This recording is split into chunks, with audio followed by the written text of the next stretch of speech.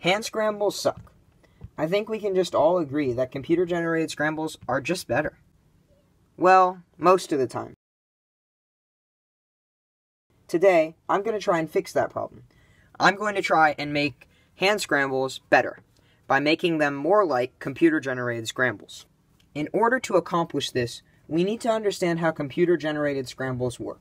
The first thing a computer does is generate a random solvable cube state, and then it solves it and inverses the solution to give a scramble for that cube state.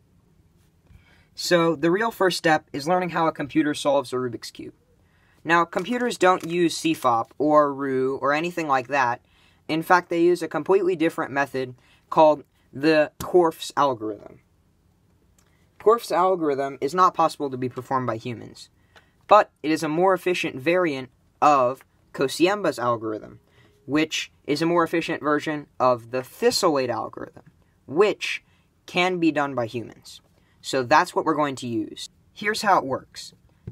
First, it makes all the edges good. Then, we get all white or yellow on the top and bottom, like this and then we make it so that we can solve it using only double moves, like this.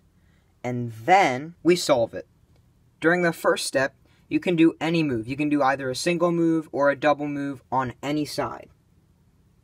And then, in the second step, you can use single moves on all the sides except for the front and back, where you can only use double moves.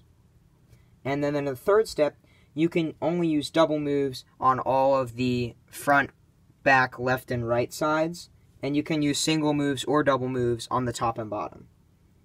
And then, during the last step, you can only use double moves. Now that we know how to solve the cube like a computer, we just have to inverse our solution. But we don't have the solution, otherwise we would have already solved it. So what we do is we just do random moves within the constraints of each step. First, we start with the fourth step, because that is the one that would come first because we inversed it. So we do only double moves. And once you feel that it's fairly mixed, you move on to the next uh, constraint, which now allows you to do single U moves and single D moves, but you have to use double moves on the left, right, front, and back side still.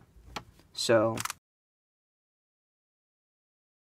and then in the next step, we're allowed to do single moves on the right and left sides and the top and bottom sides, but we're still forced to only use double moves on the front and back. And then, in the final step, we're allowed to do single moves on all the sides. So this is the step where you want to make sure that you're using F and B moves so that you get some bad edges.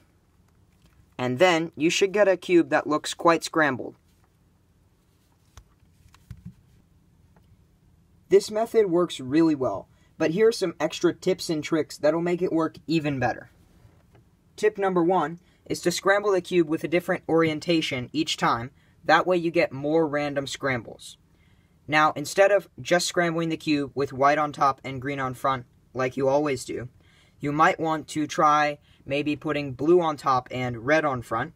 That way you get more random scrambles. Tip 2 is to use back moves, left moves, and down moves just as often as you use RU and F moves. This is because that's how computers solve and scramble cubes. The third tip is that you want to regrip. Now, normally when you're solving, you don't want to regrip, but if you haven't noticed yet, when, with a computer-generated scramble, it's random, and it oftentimes involves regripping a couple times. Number four. Actually, that's it subscribe because I would really appreciate that. And also, do you like my new main? It's the uh, Aolong GT from way back in 2015. It's non-magnetic and re-stickered, if you can't tell by the horrible sticker job I did. Uh, okay, I'm just kidding. Uh, I lost my main, the Meilong 3x3 SM, uh, self-magnetized or strong magnets, however you interpret that. Don't forget to like the video. And, what do you think of my new cube logo?